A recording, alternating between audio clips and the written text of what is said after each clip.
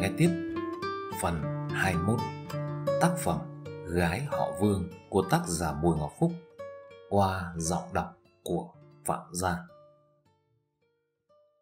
Chưa đến 5 giờ sáng, lão Doãn đã thức giấc vì nóng không ngủ nổi. Ngày trước, sống trong cảnh mất điện triền miên không sao. Kể từ ngày điện lưới được cấp đều, nên khi mất điện, lại thấy bí bức. Lão hé mở cửa, bước ra ngoài. Giờ này cả khu phố chợ vẫn chìm trong giấc ngủ. Duy nhất nhà thằng chăn lợn đã sáng đèn để chuẩn bị dọn hàng. Do thâm thủ nhau, vì thế lão Doãn chưa một lần ghé ăn. Hồi trước, lâu lâu lão hay dắt thằng cháu đích tôn lượn qua để trêu ngươi. Hành vi của lão muốn kẻ chỉ có cháu ngoại phải ghen tức. Tuy nhiên, niềm tự hào ít ỏi đó đã bị thằng phá gia chi từ làm hỏng. Ở bên ngoài, buổi sớm không khí trong lành. Tuy hướng ra cổng làng có một vài người đạp xe đi làm ca sáng khi trời còn chưa sáng rõ mặt người. Không mấy khi dậy sớm, nên lão Doãn chắp tay đi dọc con đường làng với nhiều suy nghĩ ngổn ngang. Kể từ ngày bàn giao lò gạch cho xã, lão dồn tiền buôn gỗ về đổ cho mấy sườn mộc trong làng. Buôn gỗ từ cửa rừng trên mạng ngược về xuôi thường có lãi cao. Tuy nhiên, có ở trong chăn mới biết chăn có rận. Việc chờ gỗ có đóng búa kiểm lâm không hề đơn giản. Chưa kể, xe chờ gỗ phải qua nhiều tỉnh thành, có nhiều chốt khác nhau. Riêng khoản bôi trơn đã khiến cho lợi nhuận giảm sút. Công việc buôn gỗ không phải là kế lâu dài. Lão từ lâu đã nhòm ngó đầm sen của làng, bởi nếu thầu được khu đó, sẽ hái ra tiền. Nhưng hiện nay xã đang giao cho đoàn thanh niên đảm trách để gây quỹ hoạt động. Cách làm việc nửa vời khiến cho hiệu quả kinh tế không cao. Buồn chân nên lão doãn đi một vòng quanh làng. Đến lúc quay về nhà, trời đã hừng sáng, báo hiệu cho một ngày oi nắng. Đang đứng ngắm nghía mấy cây bàng đã xòe tán, lão doãn thấy em gái chạy lại nhờ vả. Thằng co đang ngủ trong nhà, bác để ý giúp em chút. Sáng nay em qua nhà bà Thuận để bẻ nanh cho mấy con lợn và tiêm cho con lợn mẹ bỏ ăn. Thương em gái một mình chăm con, bởi vậy lão Doãn kê dép, ngồi ngay ở trước cửa nhà cho tiện. Dù sao, thằng bé lớn rồi nên không đáng ngại. Liếc nhìn về phía nhà ông chú họ, lão Doãn thấy bên đó cửa đóng then cài thường xuyên. Hình như vợ chồng ông Minh đã chán ở khu phố chợ do ồn ào, trong khi hai ông bà chưa có ý định buôn bán. Sau lần mất vàng, mua sự im lặng của em thương, lão nghe bà Thìn kể lại, bà Duyên thường lôi chồng ra xì và cho bõ tức. Dù sao bây giờ ngoài khoản lương hưu còm cõi, mọi bồng lộc của ông Minh đã không còn. Bởi thế trong mắt bà Duyên, lão chồng già trở thành kẻ vô tích sự, lại gây chuyện thị phi. Ngồi trong nhà em gái, lão Doãn nhìn thấy thằng chăn lợn chạy con sai ba beta, khói đen mù mịt từ trên huyện về. Tự nhiên, lão thấy ngứa mắt vì kẻ thù có cuộc sống êm đềm hơn mình. Khi thấy cô em gái xuất hiện, lão Doãn về nhà, đánh răng rửa mặt như thường lệ. Để bắt đầu ngày mới bằng việc ngồi ở bộ bàn ghế kê giữa nhà, đợi vợ phục vụ đồ ăn sáng. Kể từ ngày con dâu bế thằng nhỏ về nhà ngoại, mọi việc trong nhà đều do vợ lão đảm nhận vì không dựa vào con dâu được nữa. Nhiều lúc thấy mụ vợ hay ca thán, lão biết do mụ phải làm nhiều việc nhà trong khi vẫn bán hàng, đâm mệt nên sinh ra bản tính. Gặp những thời khắc đó, lão thường chép miệng nói, Bố khỉ, các cụ hay nói, vợ chồng bằng tuổi nằm rũi mà ăn. Tôi với bà bằng tuổi nhau, mà đã được nằm rũi để ăn ngày nào đâu. May, giờ năm thì mười họa, bà nằm duỗi phục vụ chồng được một đêm, sau đó làm mình làm mẩy cả tháng. Biết lão chồng phũ miệng ngầm chửi mình ra, bởi thế mụ hợi, dù điên tiết, nhưng không dám cự cãi, bởi mụ biết đàn ông già như cụ giáo thìn vẫn túc tắc chiều vợ. Trong khi lão chồng mụ còn hừng hực khí thế, nhưng mụ đã lắc đầu chịu chết vì không còn khả năng. Những lúc không được vợ chiều, lão Doãn thường đá thúng đụng nia với khuôn mặt hầm hè. Lão hay mát mẻ. Mẹ kiếp, chưa gì đã khô như gạch phơi nắng cả hè vậy. Có khổ không? Thấy mụ vợ gắp bánh cuốn ra đĩa để phần con trai kèm theo miếng chả quế. Lão Doãn cầm luôn cả đĩa, liệng ngay vào sọt rác. Sau đó, lão gằn giọng nói, Bà định hầu nó đến bao giờ? Người ta nói con hư tại mẹ, quá không sai. Biệt lão chồng đang bí bách vì nhu cầu sinh lý không được đáp ứng. Thêm nữa, lại nhớ thằng cháu đích tôn nên bắt đầu cục tính trở lại. Vì thế, mụ hợi dù sót tiền mua đồ ăn rồi bị ném sọt rác nhưng không dám hé răng to tiếng. Mụ than thở. Còn cái như nợ đồng lần, mấy đời nước mắt chảy ngược đâu. Không thỏa mãn với câu trả lời cũng như sự bao che của vợ, lão Doãn lạnh lùng tuyên bố. Xe máy của nó tôi khóa bánh rồi, từ bây giờ tự kiếm việc mà nuôi sống bản thân. Nếu bà còn thậm thà thậm thụt rúi tiền cho nó, đừng trách tôi không nói trước. Liệu cái thần hồn. Trước khi ra quán bà Thìn, ngồi bắn điếu thuốc lào, thoáng chút suy tư, lão Doãn nói với vợ. Tôi đang tính thầu lại đầm sen của xã, bởi mấy đứa ở đoàn thanh niên ra ngoài đó đú đẩn, chú có làm được cái gì ra hồn. Nếu vào tay tôi sẽ khác. Đã nhiều lần chứng kiến lão chồng làm gì đều hanh thông, bởi thế mụ hợi vô vập hỏi ngay. Liệu nhà mình có phải vi thiền chút không? Dù sao, đồng tiền đi trước là đồng tiền khôn. Khoác chiếc áo pyjama màu xanh, có kè tăm, sọc trắng. Lão Doãn bực mình quát.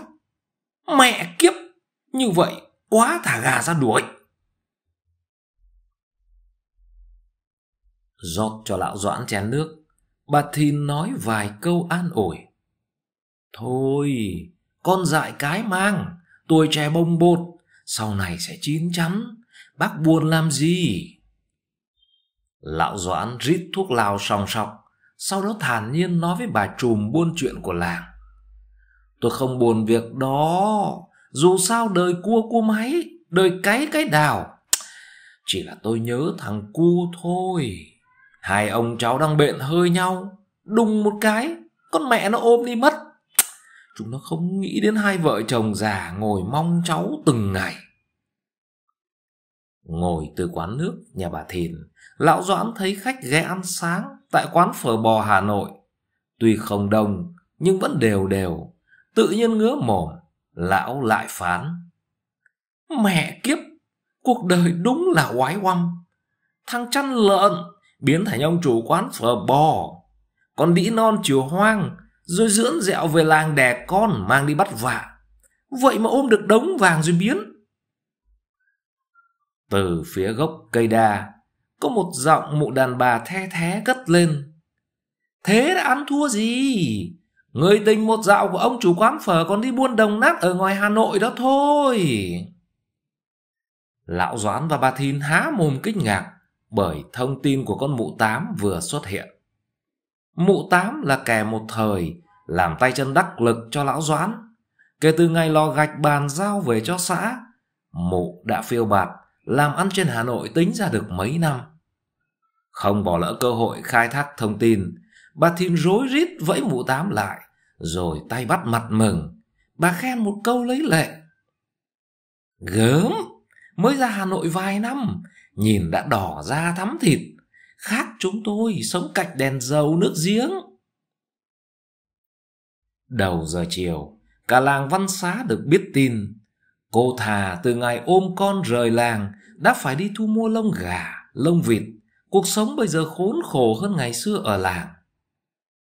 Tuy mụ tám chỉ gặp cô thà có một lần, nhưng nhờ có tài thêm mắm dặm muối, vì thế câu chuyện có sức hút sự quan tâm của nhiều người. Tuy nhiên, có hai điều quan trọng mụ chưa kịp khai thác bởi ai cũng muốn biết số phận của thằng bé con và hiện nay cô thà đã có gia đình chưa? Không mấy khi chuyện cũ của tay nhanh được đào bới. Mỗi lần ngồi quán nước bà Thìn buôn chuyện, lão Doãn thường kết luận một cách chắc nịch. Đã hủ hóa với thằng chăn lợn, sẽ không có kết quả tốt đẹp. Gần chục năm, tường ra Hà Nội ở nhà cao cửa rộng, hóa ra hành nghề đồng nát, còn không bằng dân làng mình. Mọi việc tường chìm và quên lãng, tự nhiên như đám cỏ khô gặp lửa bùng cháy. Điều này khiến bà bồng khổ tâm vì nghe nhiều rắc cả tai. Buổi chiều đi làm ngoài đồng về, bà bồng ngồi hiên nhà, mặc cho tiếng lợn réo trong chuồng. Ba nhầm tính, thằng cu năm nay đã sang tuổi 11. Như vậy, trước sau, mẹ nó cũng sai con về nhận tổ quy tông. Biết chồng mình đang bận dọn dẹp ngoài hàng phở, bởi thế bà bồng không vội nấu cơm chiều. Bà muốn dành thời gian suy tính cách đối phó với viễn cảnh không xa, khi họ vương sẽ có người nối dòng hương hỏa. Ngồi ăn cơm tối cùng bố mẹ, Hiếu cảm thấy ngại ngần trước cái nhìn sắc lạnh của bố mình. Kể từ ngày được tạm tha, mọi nguồn tài chính bị cắt đứt, còn xe cúp đã bị khóa cả hai bánh. Chính vì thế, Hiếu thường loanh quanh ở trong nhà vì ngại chạm mặt mọi người ở trong làng. Sự việc tự bế con rồi tống tiền cha mẹ khiến Hiếu bị xa lánh Dân làng bực tức vì một phen náo loạn mò ao, rồi tìm dưới giếng. Thậm chí đám anh em con cháu họ Phạm còn mất nguyên một buổi chiều để tát mương. Nhiều người gọi việc tống tiền cha mẹ của Hiếu là bất hiếu. Nó khác hẳn cái tên y được đặt cho. Khác hẳn với thái độ khinh miệt và trời con là thằng bất tài vô dụng, là thằng phá gia chi tử. Hôm nay, lão Doãn tự tay rót cho con trai chén rượu rồi điềm đạm phân tích. Thôi, đời còn dài, tương lai còn rộng. Nếu con vợ mày vẫn nhất quyết ra tòa, hãy chấp nhận. Đàn ông con trẻ, dù vài đời vợ vẫn đầy gái theo. Đàn bà nặng gánh con cái, nên kiếm được tấm chồng nữa không dễ dàng gì. Suốt mấy tuần nay, bố nghĩ kỹ rồi. Thằng cu do mẹ nó nuôi là hợp tình Nhà mình có đòi người cũng không ai giải quyết. Tạm thời tập trung làm kinh tế đã. Khi nhiều tiền rồi, tự gái nó theo. Đàn ông sống phải có khí phách. Lão Doãn rền rĩ. Nếu mày tiếp tục dính vào cờ bạc là coi như xong. Lúc đó chúng tao già rồi, không cứu mang được mãi. Hiếu cảm động, uống cạn chén rượu, rồi hỏi lại, bây giờ bố tính nhà mình sẽ làm gì? Lão doãn lôi dưới gầm giường ra bốn chai thuốc trừ sâu. Trước sự ngạc nhiên của hiếu, lão nhìn thẳng vào mặt con trai rồi gằn giọng, đêm này mày chỉ cần dài hết cái chỗ thuốc này xuống đầm sen. Nhớ dài đều ở bốn góc là được. Mọi việc còn lại bố sẽ tính tiếp. Đúng như lời hứa với sư phụ. Trước buổi lễ mừng thọ một ngày, Vương Hoàn cùng năm cô bạn sinh viên có mặt để trăng đèn kết hoa ngay khi đám thanh niên trong làng dựng rạp xong xuôi. Dưới sự chỉ dẫn của Hoàn, màu đỏ được lấy làm chủ đạo.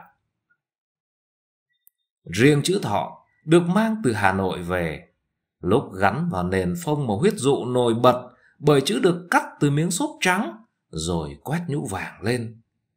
Chính nhờ sự khéo léo của mấy cô sinh viên, vì thế nơi ngày mai tổ chức buổi lễ nhìn đẹp hơn hẳn. Nó không giống mấy lễ mừng thọ trong làng. Một chiếc ghế già cổ được bê từ trong nhà, đặt phía dưới chữ thọ.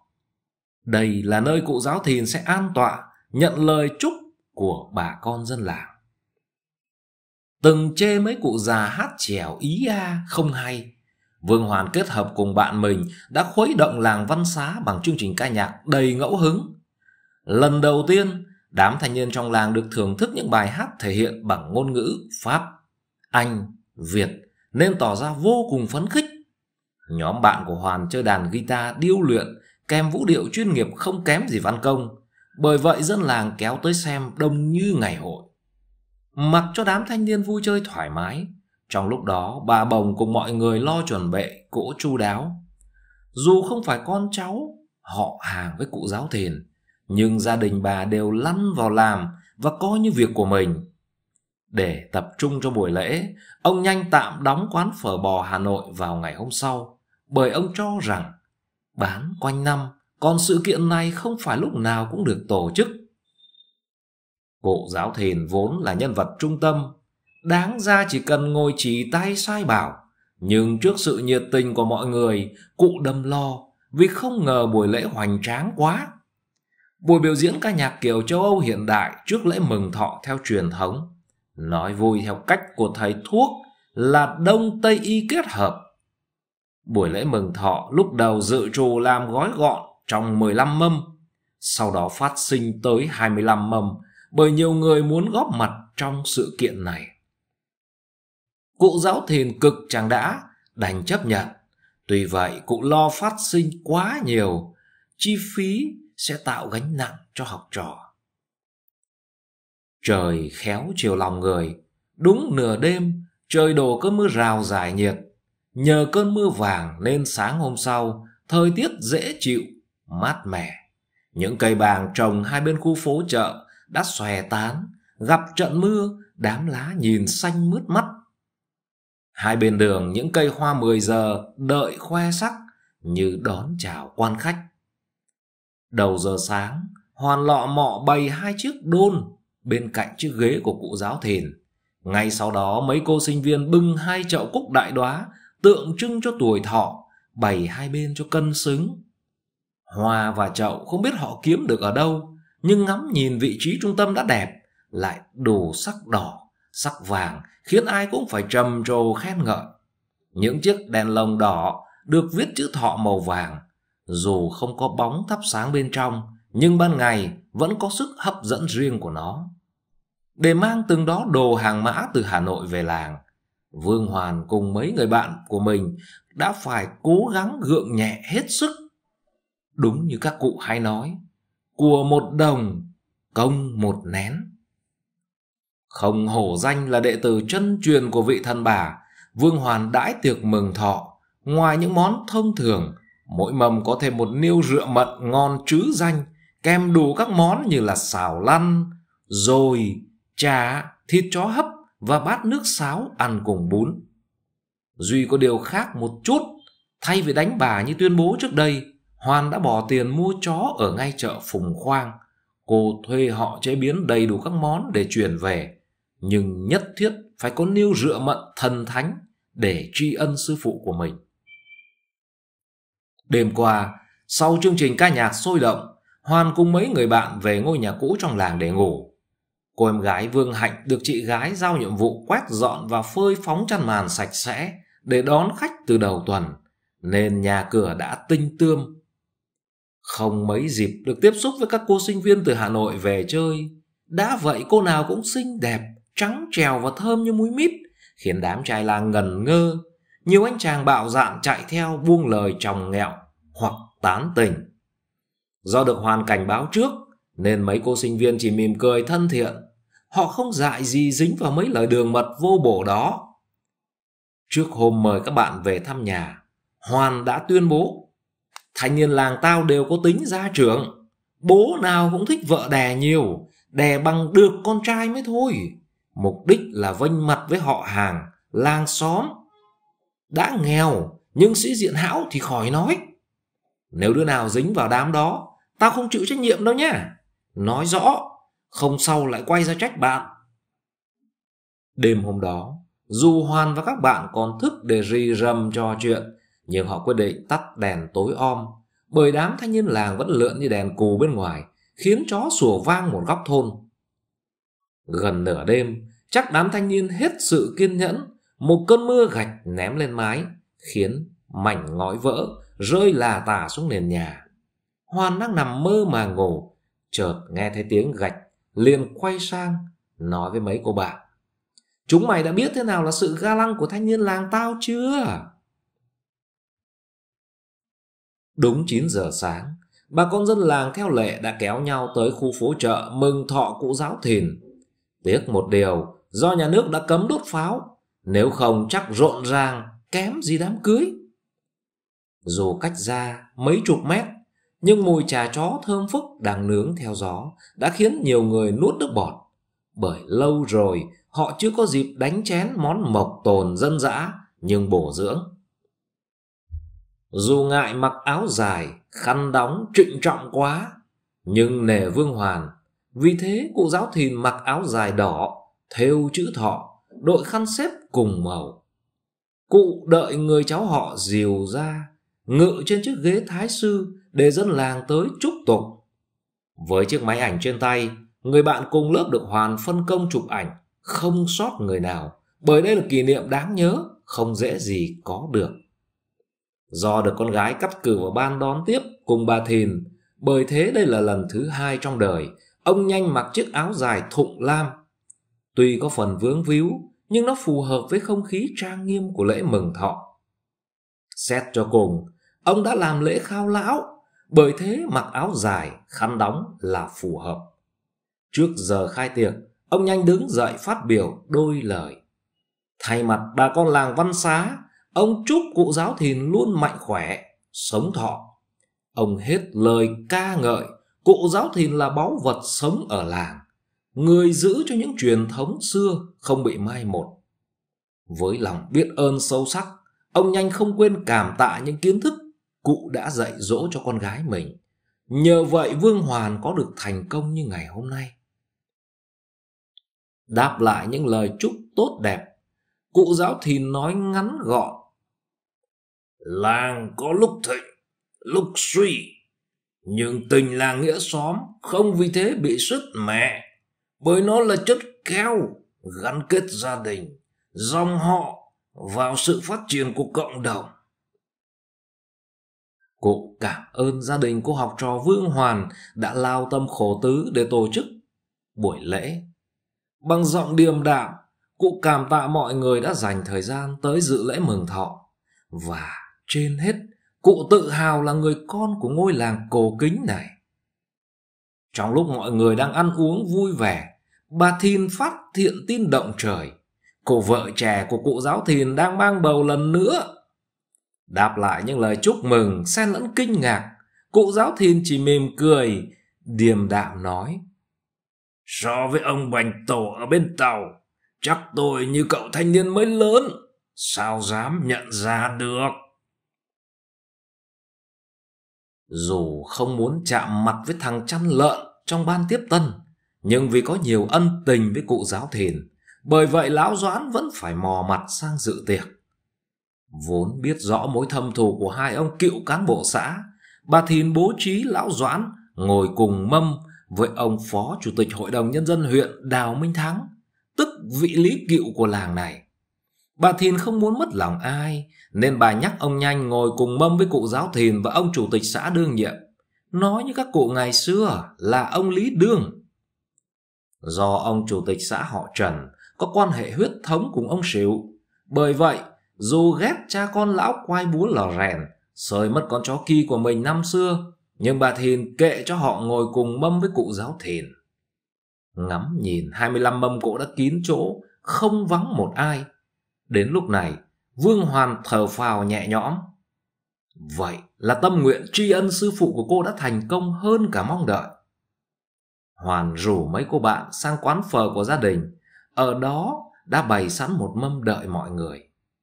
Không vào trong rạp như mọi người, bà Bồng cùng cô vợ cụ giáo thìn và Vương Hạnh đều ngồi ăn tại quán phở cho thoải mái và tiện việc thu dọn. Chỉ tay vào em gái mình, Hoàn tự hào giới thiệu.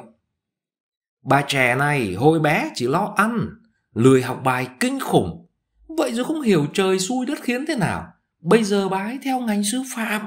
Rồi nay mai trở thành cô giáo đi dạy học Biết chị gái có thành kiến, vì thế Vương Hạnh tự tin đáp lời.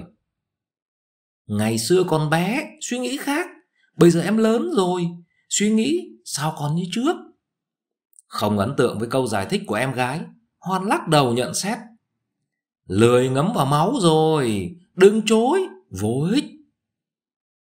Đang ngồi ăn trong nhà, Vương Hoàn nhìn thấy đám trai làng lượn lờ phía ngoài. Nhiều cậu táo tợn, còn không nề mặt người lớn tuổi. Họ cho tay vào mồm huýt sáo để gây sự chú ý. Hoàn tiếp thức ăn cho mấy cô bạn, rồi thở dài nói. Trai làng này đúng là loại dưa khú cà thâm còn bày đặt ngoi lên chạm mặt các vị tinh tú. Chẳng lẽ tao ra ngoài chửi cho một bài bằng tiếng pháp nhỉ?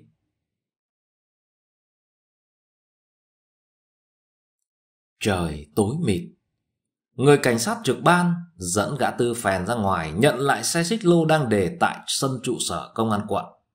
Chưa kịp ngồi lên yên xe, ngay lúc đó, hai người mặc thường phục bước tới trao đổi. Họ chính là những người đi xe mô kích lúc sáng này. Người lớn tuổi giải thích. Chúng tôi đã tìm hiểu qua nhiều nguồn tin. Như vậy là anh đã đánh thằng Mạnh Chó để cứu lũ trẻ. Rất có thể đối tượng Mạnh Chó đã bỏ hàng cấm vào xe rồi báo công an. Trong lúc đợi chúng tôi điều tra kỹ càng, hy vọng anh chớ tiết lộ thông tin ra ngoài, nếu không sẽ rút dây động rừng, làm khó cho công tác điều tra. Gã tư phèn xoa hai cổ tay do bị khóa cả ngày, không buồn đáp lời hai người giàn cảnh bắt mình. Gã khẽ gật đầu, rồi đạp xe xích lô, hòa vào dòng người đang xuôi ngược trên con phố khâm thiên. Như vậy cả ngày hôm nay, gã bị móm nặng vì không được quốc khách nào. Ngay khi tra tay vào còng số 8 và bị tống lên con xe Sidecar, Tư Phèn lờ mờ đoán mình bị bọn bương soái gắp lửa bỏ tay người. Cả một ngày đối diện với hai người cảnh sát hình sự thay nhau thẩm vấn, gã nhất mực kêu oan vì không liên quan đến cá nhân hay tổ chức buôn bán ma túy. Trong thời gian Tư Phèn bị xích tay ngồi trong phòng hỏi cung, bên công an quận thông qua cảnh sát khu vực nhanh chóng thu thập thông tin về gã. Việc khám xe xích lô không có ma túy là vật chứng để kết tội. Thậm chí mấy con nghiện nhẵn mặt trong xóm liều đều khai rõ chưa từng thấy gã tư phèn mua bán chất cấm khiến hướng điều tra đi vào bế tắc. Sau một cuộc họp nhanh để trao đổi tình hình, đúng 21 giờ, bên công an chấm dứt việc tạm giữ nghi can là gã tư phèn. Họ dự đoán có thể kẻ báo tin nặc danh đứng sau để mưu đồ việc xấu. Rà soát theo nhiều hướng, đối tượng mạnh chó rơi vào tầm ngắm của công an bởi y là nghi can số 1 muốn ám hại gã tư phèn nhằm trả thù riêng. Tuy nhiên, loại tép riu như mạnh chó đã nghiện oặt, chắc ma túy để sử dụng còn không đủ, nên sẽ không thể kiếm được ma túy mang đi gài bẫy. Đang ngồi trong nhà coi vô tuyến đợi chồng, thà nghe thấy tiếng xích lô quen thuộc từ xa vọng lại. Cô vội chạy ra, mở cửa đón. Ở khu xóm liều với nhiều thành phần bất hảo sinh sống, do vậy, khi trời tối, nhà nào cũng cửa đóng then cài, bởi ngoài việc bị trộm cướp xông vào, những vụ đánh nhau do cờ gian bạc lận xảy ra thường xuyên. Nếu mở cửa, nhiều khi dính đòn oan. Đợi cho chồng bắt ván đầy xe vào nhà, lúc này thà mở lồng bàn đậy mâm cơm rồi hỏi. Sao hôm nay mình về muộn thế? Chắc chờ khách đi xa phải không? Gã tư phèn trút bỏ hết quần áo rồi đứng ngay giữa sân bếp. Gã múc nước rồi ao ao lên người cho đỡ nực. Sau khi tắm xong, gã bực mình nói, khách khứa nào đây? Sáng ra đã gặp hạn rồi. Ăn tối xong, trời bắt đầu nổi cơn rông. Những cơn mưa nặng hạt bắt đầu xuất hiện, kèm theo sấm chớp. Lâu lâu có tiếng sét khiến nhiều người giật mình. Khi mưa bắt đầu trút nước, vừa lúc điện bị mất, khu xóm liều chìm trong bóng tối. Bên ngoài, những ánh chớp sáng lòe hắt qua cửa cùng tiếng gió thổi từng cơn. Cây cối và rác rưởi được quay cuồng trong vũ điệu bất thường của mẹ thiên nhiên. Cố rửa nốt mấy chiếc bát, vì thế người thà ướt sũng. Cô thay quần áo khô, rồi nhắc chồng. Thôi, mưa gió, vợ chồng mình đi nghỉ sớm. Cụ thiện chắc mệt, nên ăn xong đã mò lên gác xếp tự mắc man ngủ rồi. Mặc cho thả dục dã chui vào màn. Ngồi bên ngoài, gã tư phèn đoán, hôm nay khéo đúng ngày dụng trứng nên vợ mình lại muốn thử vận may. Thương vợ, nhưng gã không dám thú thật việc hồi trẻ, bởi dù sao phụ nữ rất nhạy cảm trong chuyện đó. Nhiều khi họ sẽ bị ám ảnh cả đời về lầm lỗi của chồng trong quá khứ. Đó là chưa kể lúc về già, phụ nữ hay nói nhiều một cách bất thường. Việc tốt quanh năm sẽ không nhớ, họ thường chọn việc xấu để khắc cốt ghi tâm và nói mãi không chán. Có lẽ phụ nữ đều giống nhau ở khoản này, đến kỳ lạ. Ngồi trong bóng tối không buồn thắp ngọn đèn dầu, Tư phèn châm điếu thuốc hút rồi trầm ngâm suy nghĩ. Mặc dù nghe theo lời khuyên của lão Vinh Mỏi, nên gã chủ động tránh xa bọn du thủ du thực. Nhưng cây muốn lặng, mà gió chẳng ngừng. Đến giờ này gã vẫn chưa hết rùng mình bởi bương soái dành cho gã một đòn quá hiểm. Chiều nhét ma túy rồi báo công an không mới. Tuy nhiên, việc hy sinh cả một bánh heroin để khiến gã phải dựa cột, đủ thấy thằng cha đó không từ một thủ đoạn nào. Châm thêm điếu thuốc nữa, gã tư phèn nhầm tính. Nếu hôm trước không vô tình mở thùng gỗ để cất tấm áo mưa, có lẽ gã không phát hiện ra bánh heroin bị kẻ nào đó lén bỏ vào. Bọn chúng muốn mượn tay công an cho gã đi nghỉ mát dài hạn trong nhà đá, sau đó chờ ngày nhận phán xử nghiêm minh của pháp luật. Hôm đó, Tư Phèn định mang bánh heroin giao nộp cho bên công an. Tuy nhiên, nếu gã nhặt được hoặc ai đó nhét vào xe vu vạ, gã sợ tình ngay, lý gian, bởi công an chắc không tin có kẻ nào hoang phí một bánh heroin để vu oan cho gã. Biết mình sinh sống ở xóm liều là sự bất lợi. Dù sao đây cũng là trung tâm của mọi tệ nạn xã hội, vì thế Tư Phèn quyết định giấu biến bánh heroin coi như không hay biết. Vốn gã không tham, nhưng lo sợ không giải trình được, lúc đó lại khiến bên công an nghi ngờ gã tham gia một đường dây mua bán ma túy. Giờ đây, gã có hai việc cần tỉnh táo giải quyết, nếu không sai một ly sẽ đi một dặm. Việc thứ nhất là nhanh tay giải quyết ân oán với bương soái bởi theo gợi ý của lão Vinh Mỏi, nếu đánh rắn là đánh dập đầu. Gã không muốn tốn công sức đi chiến đấu với mấy thằng tép riu hoặc bốn thằng cô hồn vỗ ngược tự xưng là tứ đại thiên vương. Dù bọn này có đến nhị thập bát tú, nếu điên tiết gã đập được hết. Điếu thứ hai đã hút tới sát đầu lòng. Tư phèn định rút thêm điếu nữa cho suy nghĩ được thông suốt. Bất ngờ, gã cảm nhận cơ thể ấm nóng của vợ vừa áp sát vào lưng mình. Tạm gác lại những suy nghĩ lo toan, tư phèn ngoan ngoãn theo vợ chui vào màn như một chú cún con. Riêng khoản trả bài cho vợ, nói không ngoa thì gã luôn hoàn thành xuất sắc nhiệm vụ.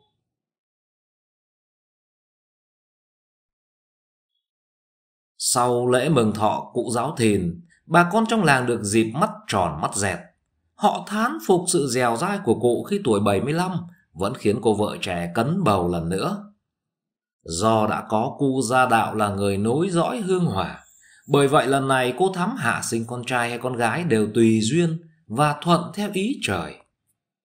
Bà Thiên tỏ vẻ ngưỡng mộ, bà nhắc mấy ông hay ngồi đánh cờ. Các ông khỏi học ai đâu xa, Hãy nhìn gương cụ giáo thìn là rõ. Tuổi ngoài 70 mà vẫn phong độ, khỏe mạnh. Bà thìn nhấn nhá như xoáy thêm vào nỗi đau của mấy vị. Trong khi mấy ông chưa đến sáu chục đã ngồi đầu gối quá tai, khéo chiều vợ được một buổi, lại ngậm sâm thờ hồn hền cả tháng. Đúng là kính chẳng bỏ phiền. Dân làng hết chuyện nọ sọ chuyện kia mọi người tấm tắc khen con bé vương hoàn đúng là khôn từ bé bây giờ dù chưa ra trường nhưng nó đã kiếm tiền còn nhiều hơn bà con thu hoạch cả vụ mùa lẫn vụ chiêm. Bà Thìn nắc nỏm. Ai rước con bé về làm dâu lại chẳng mát mặt.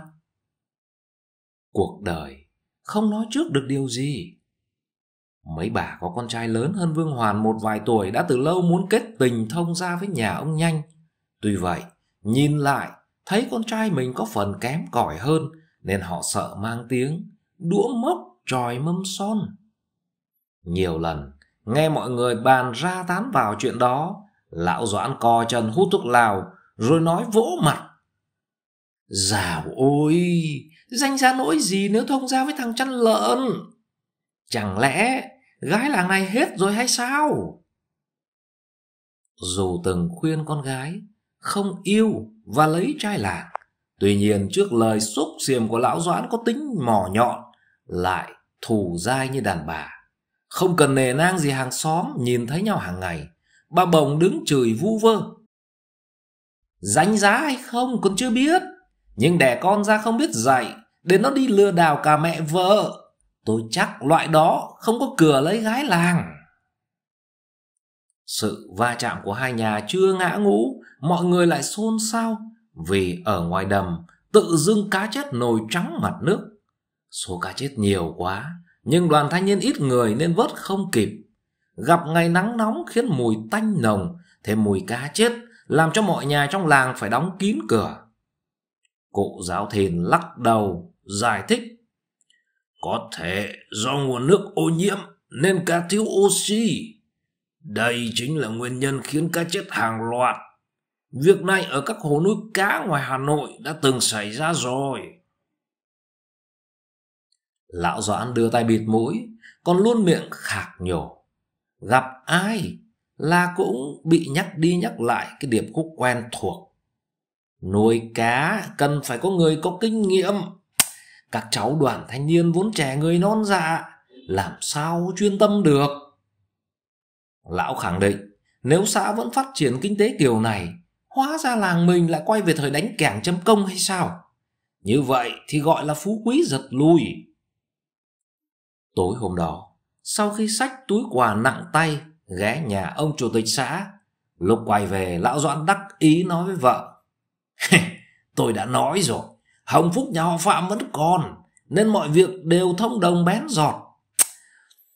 Khi mình nhận thầu xong đầm của xã, khéo mà cái thằng cha chăn lợn hộc máu mồm chết bên thùng nấu phở vì uất ức. Quay sang thằng con trời đánh, lão Doãn gật gù về hài lòng rồi khen con trai. Mày làm việc dứt khoát, nhanh gọn như thế. Đúng là trời không biết, đất không hay. Giỏi lắm. Dù chưa rõ sẽ thu được bao nhiêu lợi nhuận, nhưng mộ hợi đã bày lễ trên bàn thờ mụ chắp tay khấn vái còn kính lại cao tăng tổ khảo cao tăng tổ tỷ về chứng giám hôm nay nhà con lễ bạc lòng thành, kính xin ơn trên phù hộ để nhà con nuôi cá được bội thu, nuôi tôm được giá lão doãn đang ngồi nhâm nhi đĩa lòng lợn từ chiều nghe mụ vợ khấn dài quá, liền gắt khẽ mẹ tổ, bố khỉ, Tổ tiên nào ở đây mà lôi ra lắm thế? Nếu không có bốn chai thuốc của ông thì đứng đó mà há miệng chờ sung. Thôi, mang thêm rượu ra đi. Kỳ nghỉ hè năm nay, Hoàn quyết định về quê chơi khoảng một tuần. Sau đó cô sẽ quay lại Hà Nội kiếm tiền để dành cho những dự định tương lai. Kể từ ngày Liên Xô và khối xã hội chủ nghĩa Đông Âu tan rã, nhu cầu học tiếng Anh của mọi người tăng cao đặc biệt là việc Mỹ tuyên bố bãi bỏ cấm vận Việt Nam vào năm ngoái. Khi đó, các thầy cô trong khoa đã nói, Hoàn và các bạn sẽ nhanh chóng bắt kịp xu thế bởi sẽ xuất hiện làn sóng các nhà đầu tư vào Việt Nam. Như vậy tiếng Anh chính thức lên ngôi. Đáng ra, Hoàn có thể về quê sớm hơn nhưng cô nán lại hoàn thành nốt phần dịch thuật của mình trong một doanh nghiệp. Không giống như mấy người bạn học cùng lớp hay chọn đi dạy kèm gia sư hoặc dạy tiếng Anh cho các trung tâm mọc lên như nấm. Hoàn chủ động xin làm part-time cho những doanh nghiệp cần người xử lý, mang công việc liên quan tới dịch thuật và viết thư bằng tiếng Anh cho khách hàng. Khái niệm part-time còn khá mới mẻ. Do vậy, các chủ doanh nghiệp còn chưa quen, thậm chí nhiều vị nhất quyết phải tuyển nhân viên làm công ăn lương ngồi tại cơ quan. Chính vì thế, họ đã tuột mất cơ hội làm ăn với nước ngoài. Gấp gọn quần áo cho vào chiếc ba lô, Hoàn xuống dưới nhà chào bà Tám để về quê. Vốn một thời là cái loa mồm, bởi thế mụ Tám không nhịn được, liền vẫy Hoàn lại gần, thẻ thọt. Cô thà cùng thằng con riêng của bố cháu đang sống ở khu bãi rác thành công đó. Thằng bé năm nay 12 tuổi rồi, nhưng chuyên đi bới rác, còn mẹ nó hành nghề đông nát đã nhiều lần chứng kiến thầy U mình khốn khổ vì mấy bà đưa tin, bởi thế Hoàn lạnh nhạt, buông thẳng một câu. Cháu không bận tâm việc đó. Nhìn theo cô sinh viên đầy cá tính, mụ tám thở dài, nói cho mình nghe. Người ta nói, khác máu tanh lòng. Đây lại cùng cha khác mẹ mà còn nhạt hơn nước ốc. Đúng là học lắm, bằng thừa. Do được sự gửi gắm của bà Thìn, có đôi lần mụ tám mon men vào khu xóm liều để tìm nhà cô thả. Tuy nhiên, lúc thấy đám con nghiện đang vật vờ quanh đó, mụ đành gác kế hoạch dò la đó lại. Dựng xe trước quán phở bò Hà Nội, không vội ghé vào quán của gia đình như mọi lần, hoàn sang nhà cụ giáo thìn để thăm sư phụ của mình. Tính ra, từ hôm làm lễ thượng thọ đến hôm nay đã ba tuần. Dù không ở làng, nhưng Hoàn biết bà con ai cũng khen. Bữa đó họ được sơi cỗ ngon không sao tả được. Cụ giáo thìn trong lúc ngồi kèm cu gia đạo tập viết, đang nghe tin tức qua chiếc đài cassette cũ. Nhìn thấy cô học trò cưng bước vào, cụ giáo thìn ôn tồn nói. Hôm trước, Tổng thống Hoa Kỳ Bill Clinton vừa tuyên bố bình thường hóa quan hệ ngoại giao với Việt Nam. Như vậy món tiếng Anh của chị sẽ lên ngôi. Cố nắm bắt cơ hội để vượt lên phía trước. Vương Hoàn nói một cách đầy hài hước. Cụ cháu mình đã hội nhập quốc tế. Chắc món rượu mận phải dẹp vào xó nhà. Bởi bọn Tây nó có chó là bạn. Nên chúng nó không sơi. Cụ giáo thìn ngước mắt nhìn Vương Hoàn như người hành tinh khác. Cụ thùng thẳng nói. Những gì là bản sắc dân tộc thì phải giữ. Không phải lai căng, nửa Tây, nửa ta là được. Họ không ăn thịt chó, nhưng nhiều món của họ bên mình cũng khiếp đó thôi. Sự khác biệt về văn hóa hay ẩm thực là hết sức bình thường. Biết sư phụ vẫn dành tình yêu đắm đuối với niêu rượu mật. Vương Hoàn nói ngay. Thôi, cụ nhớ chiều nay cắt cơm nhé. Cháu đi đánh bả một con chó, rồi về làm mấy món, sơi cùng bún. Lúc trời về chiều, Hoàn chạy xe máy ra chợ huyện cách nhà có vài cây số. Sau khi lượn một vòng để quan sát, cô đã chọn hàng chó chặt, nhìn có vẻ sạch sẽ để mua. Do mọi người ở nhà răng còn chắc, bởi thế Hoàn để lại đĩa thịt chó hấp cùng mấy món được chế biến sẵn. Riêng nồi rượu mận cùng cặp lồng đựng sáo chó được Hoàn bưng sang nhà sư phụ để đánh chén. Ăn gần xong bữa thịt chó, cụ giáo thìn khẽ lắc đầu. Chó đánh bả vẫn có vị ngon riêng của nó. Chó dùng chai đập đầu nên không ngon bằng. Đang ngồi ăn, Vương Hoàn vội buông đũa nói.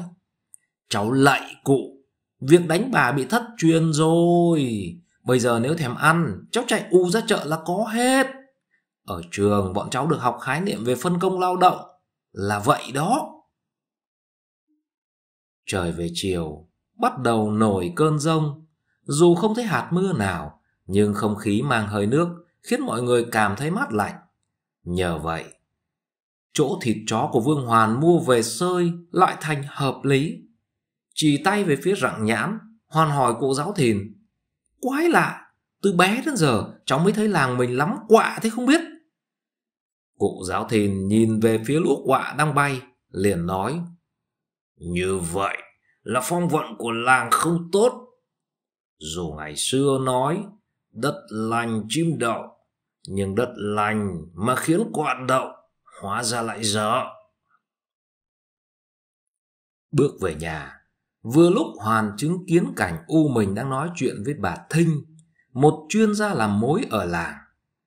Người ta nói đất có lề, quê có thói không sai. Ở đây, nhiều khi vẫn cậy nhờ bà mối đến nói chuyện và thăm dò ý kiến của nhà có con gái xem sao. Đứng bên ngoài, nghe bà Thinh ca ngợi, cậu Tân là sinh viên trường đại học kiến trúc, tài giỏi, gia đình lại căn bản, sẽ môn đăng hộ đối. Nghe xong tự nhiên Hoàn nhớ ngay đến con trai ông trường thôn hạ, người mà cô hay gặp ăn nhậu bê tha ngay chợ Phùng Khoang, thậm chí có lần Tân bị siết nợ ngay đầu làng Tân Triều. Tuy người cùng làng, nhưng Hoàn có gặp ở ngoài đường đều lờ đi, coi như không quen biết. Đáng ra, chuyện người lớn không cần mình lên tiếng. Tuy nhiên nghe bà Thinh ca ngợi khiếp quá, hoàn sợ u mình sẽ nghiêng ngả. Dù bực mình, nhưng cô bước luôn vào trong nhà để nói một lần cho dứt điểm. Chào bà Thinh xong, Hoàn ngồi xuống bên cạnh. Cô nhẹ nhàng nói. Anh Tân hơn cháu ba tuổi, đáng ra phải tốt nghiệp lâu rồi, nhưng vì ham chơi hơn học nên nợ môn quá nhiều, không đủ điều kiện ra trường. Bác về nói giúp nhà ông trường thôn. Nếu hè này anh ấy mang được tấm bằng đại học về làng, cháu xin nguyện làm con dâu hiền nhà ông ý. Tiễn bà mối ra về, bà bồng quay vào nhà lo lắng hỏi. Thế ngộ nhỡ cậu Tân mang tấm bằng về thật, lúc đó con tính sao? Đây là việc trăm năm, vì thế không nói chơi được. Còn làng trên, xóm dưới nhìn vào. Hoàn mở ba lô lấy quần áo đi tắm. Trước khi xách phích nước nóng xuống bếp, cô tự tin khẳng định. Thế U đã thấy mặt trời mọc ở đằng Tây bao giờ chưa? Sau một ngày thu mua phế liệu, thấy trời có vẻ như sắp mưa nên thà quyết định nghỉ sớm hơn mọi ngày. Đang trên đường về nhà, cô gặp một cậu thanh niên bán mớ cá câu trộm ở trong hồ Bảy Mẫu. Nhìn mớ cá tươi ngon nên thà quyết định mua về làm bữa cơm chiều đãi cả nhà. Kể từ ngày được chồng sắm cho con xe Phượng Hoàng hành nghề thay cho đôi quang gánh, Tha cảm nhận được sự cơ động và tiện lợi hơn nhiều. Cô không phải đi bộ trên các con phố đến rạc cẳng như hồi xưa. Trước đây, xe Phượng Hoàng hay xe Vĩnh Kiều của Trung Quốc là niềm mơ ước của nhiều gia đình vì độ bền của nó. Thả nhớ, ngày còn làm kế toán cho hợp tác xã ở làng, có lẽ duy nhất ông Minh chủ tịch xã có con xe Vĩnh Kiều. Do xe quý và hiếm nên đi đâu về, ông chủ tịch xã đều dùng rẻ lau chùi sạch sẽ, thậm chí vài ngày lại thấy ông cha giàu vào xích. Con xe nặng trịch đó là niềm tự hào và hãnh diện của ông quan xã. Nhưng ngồi chưa quá nửa nhiệm kỳ, ông Minh đã mua xe máy đi lại cho tiện. Hễ ai hỏi, sao không đi xe đạp? Ông chủ tịch xã dài mỏ, chê con xe đạp của tàu, đạp tốn sức. Tuy nhiên, sau khi biên giới hai nước Việt Nam và Trung Quốc mở cửa, con xe Phượng Hoàng do chồng thà mua về, đi chưa được một năm, đã nát và hoen rỉ do chất lượng quá tệ. Điều khiến Thà cảm thấy an ủi phần nào, bởi dù sao nó hợp với nghề đồng nát của cô. Bây giờ thay vì mua lông gà, lông vịt, cô chủ yếu mua giấy và sắt vụn để bán. Hôm nào mua được nhiều sẽ mang đổ cho các đại lý ngay. Hôm nào ít, cô gom vài ngày mang đi bán buôn một lần. Thong thả đạp xe trên đường, lúc nhìn thấy những đôi nam nữ tuổi chừng đôi mươi chờ nhau trên những con xe cúp, có lẽ họ đang yêu nhau say đắm, nên từ ánh mắt đến nụ cười đều thể hiện sự tình tứ. Đến lúc này, Tha chợt nhận ra mình đã già. Tuy thế, trong cuộc đời này, cô chưa từng được nếm trải một phút giây gọi là lãng mạn.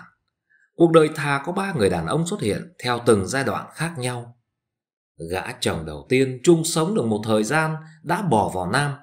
Do không chịu được cành chen ép của bà mẹ chồng quái ác, cô đành trắng tay quay về làng, sống an phận thủ thường nhằm tránh sự dị nghị của dân làng. Thà nói dối chồng mình bận công tác xa.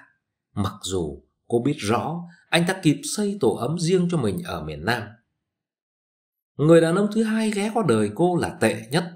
Ông ta chỉ mong có thằng con trai, do bà vợ sinh toàn con gái.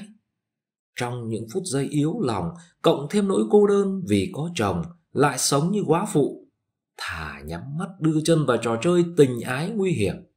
Kể từ đó, cuộc đời cô quay ngoắt 180 độ.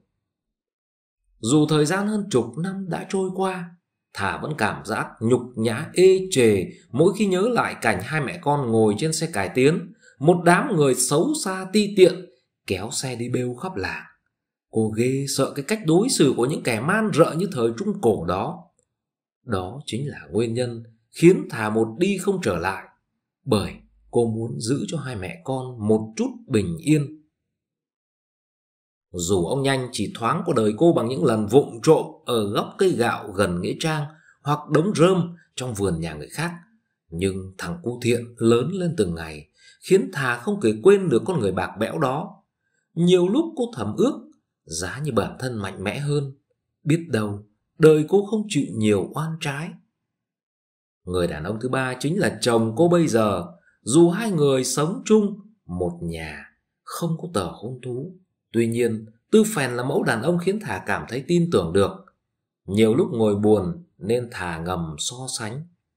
Cô thấy gã chồng đầu chỉ là kẻ bạc tình nhưng không đáng trách bởi tình cảm đã chết sao níu kéo được.